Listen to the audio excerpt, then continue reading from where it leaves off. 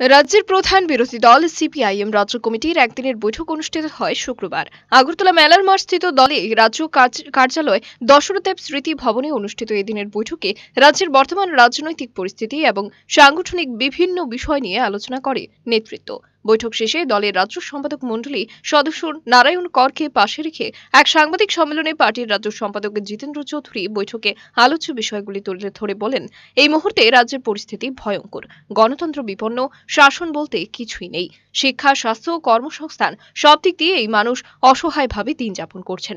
তাই রাজ্যে আইনের শাসন প্রতিষ্ঠা এবং গণতন্ত্র পুনরুদ্ধারের জন্য শাসক দল ও সরকারের কাছে চাপ সৃষ্টি করতে রাজ্যের সমস্ত ধর্মনিরপেক্ষ গণতান্ত্রিক দলগুলিকে ঐক্যবদ্ধ আন্দোলন গড়ে তোলার আহ্বান জানান তিনি। তিনি আরও বলেন, আগে শুধু বামপন্থীরা আক্রান্ত হতো, এখন অন্যরাও আক্রান্ত, কেউই রেহাই পাবে না। শুধু নেতা বদল হলেই সব পরিবর্তন হয় না, অবস্থার উন্নতি করতে হলে নীতির পরিবর্তন দরকার। শাসন সম্পূর্ণভাবে নিচ্ছিন্ন হয়ে গেছে। মানে আমাদের বিগত সাড়ে চার বছরের মধ্যে প্রথম দিকে বা সাড়ে চার বছরের মধ্যে প্রথম তিন বছর, সাড়ে তিন বছর। বা আজকেও এই আক্রমণে শাসক দলের প্রধান লক্ষ্যবস্তু আমরা সিপিআইএম এবং বামপন্থীরা। আমি তখন থেকে বলেছি যে গণতন্ত্র যদি না থাকে, তখন শুধু কমিউনিস্টরা আক্রান্ত হবে না, কেউ বাঁচবে না।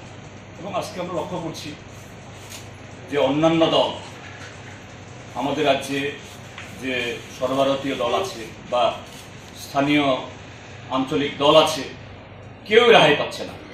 এই গত কদিন আগেও যে চরিরামে একটা দল প্রোগ্রাম করতে গেছে, এটা তাদের অধিকার। সেখানে শাসক দল দিন দুপুরে এবং পত্রপত্রিকায় উঠেছে, তিনি সশরে ছিলেন সরে ছিলেন কিনা জানি না। ঘটনাচক্রে চলিলাম হলো উপমুখ্যমন্ত্রীর নির্বাচনী এলাকা। তিনিও কাছাকাছিতে আছেন। সেখানে গিয়ে শাসক দলের লোকেরা সে দলের প্রার্থনা করছেন। তাহলে এই প্রেক্ষিতে আমরা আমাদের পার্টির তরফ থেকে আমাদের রাজ্যের সমস্ত ধর্মনিরপেক্ষ গণতান্ত্রিক দলগুলোর কাছে